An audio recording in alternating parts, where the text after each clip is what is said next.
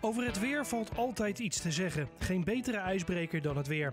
Weerman Tom Bruin heeft kennis van de atmosfeer. Hij bestudeert het weer in het buitenland en schrijft dan zijn lokale weersverwachting uit. Hij ruikt, voelt en neemt waar. En als de weerman loog, bedenk dan: tussen de druppels was het droog. Hier is Tom Bruin met het weer.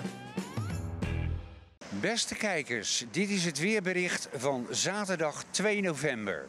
Nadat oktober koud is afgesloten met veel vorst in het land, maar in onze regio en vooral de stadsregio geen enkel graadje vorst ook maar te constateren was, hebben we vandaag werkelijk hoogstandjes in de temperatuur. De temperatuur komt op 14 tot 15 graden uit.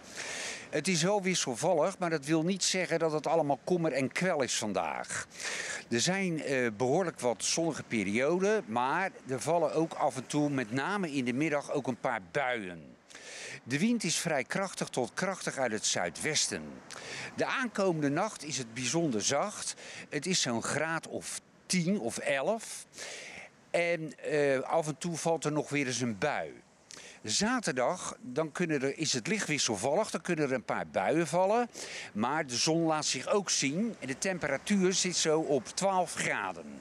Er staat wel vrij veel wind, een krachtige, mogelijk harde wind uit het zuidwesten. Vanaf maandag is het wisselvallig uh, najaarsweer. Dat wil zeggen dat het niet elke dag regent, maar er komen regenperiodes in voor. En ook komen er af en toe buien in voor. Ook de zon is te zien. En de temperatuur die schakelt gewoon terug op 11 graden. En dat is een hele normale temperatuur voor begin november. Dit was het weerbericht van dit weekend.